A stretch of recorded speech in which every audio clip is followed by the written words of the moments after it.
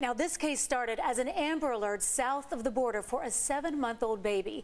As CBS 8's David Gottfredson reports, the baby is safe, the mother is dead, and the father crossed the border into San Diego with a fake ID.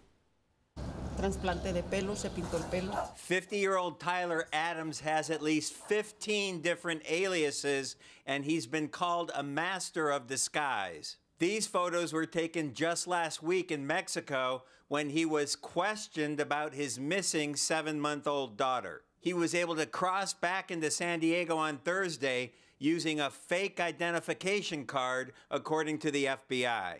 We know he's got at least one other identification card, probably more, at his disposal to cross undetected. The baby girl was found safe in Mexico, but the body of the girl's mother Rachel Sabean was found inside a car near the beach in Tijuana. The FBI says Adams and Sabean had been crossing the border together in recent weeks. They were living in San Diego for a period of time. They relocated to Mexico, and they had been living in Mexico uh, for a couple months.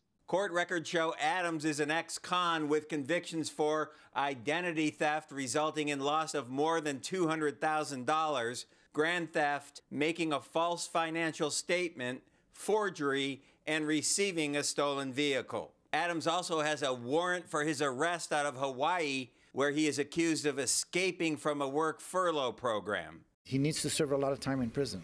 David Sabean is now in Tijuana trying to claim the body of his dead daughter and reunite with his granddaughter, who remains in protective custody. Sabean says he had a bad feeling about Tyler Adams from the beginning. Every time he was around here with me, he was always, Hi, honey. Hello, sweetheart. He'd tell me, I love your daughter. I love your daughter. But I didn't like him. He was a phony, you know? Uh, now, public records show his most recent address on this side of the border was in Temecula, but he also had previous addresses right here in Tierrasanta, as well as former addresses in downtown San Diego, Carmel Valley, and Carlsbad. Now, David, we know Adams crossed back into the United States into San Diego Thursday, so he literally could be anywhere at this point, right?